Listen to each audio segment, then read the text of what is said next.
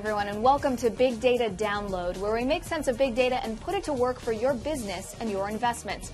I'm Kayla Tausche, in for Courtney Reagan. Today we have our eye on healthcare. The industry has been a lightning rod for criticism, with estimates of nearly $1 trillion wasted annually.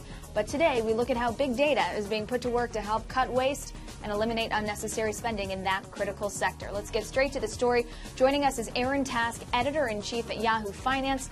Also with us to talk about big data's role in the healthcare industry is Phil Simon, author of Too Big to Ignore. Gentlemen, thank you both for being with us. Aaron, let's start with you. You're tracking some very specific search data on healthcare from the consumer standpoint. What are you seeing and what's that data telling you right now? Uh, yes, Gail. So for the 30 days ended April 5th, searches for the Obama healthcare bill were up 280% from the prior year. Obviously, there's still a lot of interest and confusion really about the Obama health care bill, what it means, when certain parts of it go into effect. There was also a 351% increase for the term health equity, which is not about healthcare stocks. It's about a search for things having to do with the fairness of healthcare, accessibility of healthcare, who has healthcare and who doesn't. Those numbers don't seem to lie, Aaron. Phil, though, set the stage for us. What are some of the biggest challenges right now facing the healthcare industry? Well, I'd say, Kayla, there are two fundamental problems with healthcare. And just to put this into context, healthcare is one of the single biggest sectors in the U.S. economy. Roughly $3 trillion of our 17 trillion GDP go to healthcare, so about one in six dollars. Also, that number is increasing at 6 to 7 percent per year.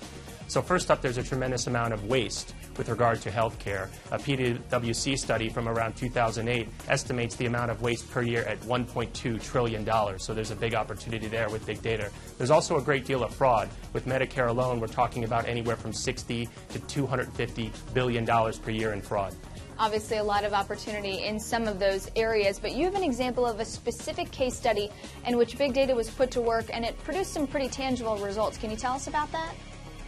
Sure, I, I learned a lot about big data and healthcare researching the book. And a couple of years ago, Cornerstone Health in North Carolina, which represents around 350 medical practitioners, realized something. They weren't terribly good at finding the patients who had different diseases. So, for instance, with diabetes, they realized that 20% of the people who had the disease weren't diagnosed. So, they were able to proactively contact the specific patients, 90% of whom actually kept their appointments, resulting in over $200,000 in additional revenue. So, big data is a big opportunity for healthcare. And obviously, a, a big revenue saver there in that specific instance. What are the conclusions, though, that you can draw based on that case study for the broader healthcare sector? Well, think about what one 350 person organization can do with diabetes and multiply that by about a billion. And we're talking about the scope of the opportunity here. Big data will bring about greater transparency. Not only, Kayla, will we do a better job in describing our current population, we'll actually be able to predict with things like personalized medicine who should get what type of pill when. So the opportunities are limitless and hopefully we will be able to capitalize on those opportunities. Phil, thank you. Aaron, thank you. For Big Data Download, I'm Kayla Tausche. Have a great day.